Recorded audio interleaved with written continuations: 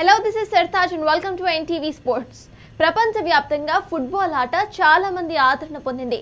అయితే మన దేశంలో క్రికెట్కు అత్యధికంగా అభిమానులు ఉన్నారు.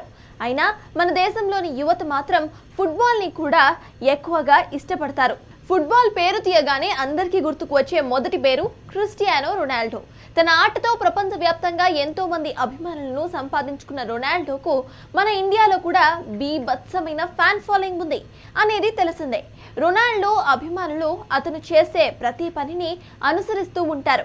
ఇక అతని మ్యాచ్ ఉంది అంటే మాత్రం అందరూ టీవీలకు అతుక్కుపోతూ ఉంటారు.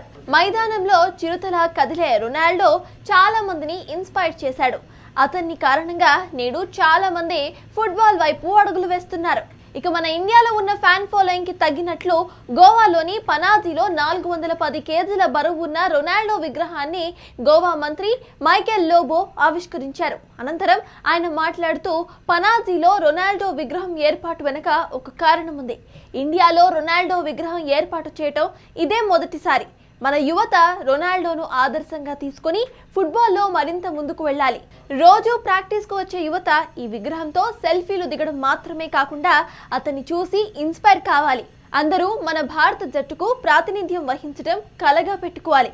ఇక ఫుట్బాల్ మైదానంలో ప్రాక్టీస్కు వచ్చే యువతకు అన్ని సౌకర్యాలు కల్పించే బాధ్యత మా ప్రభుత్వానిది అని ఆ మంత్రి పేర్కొన్నారు.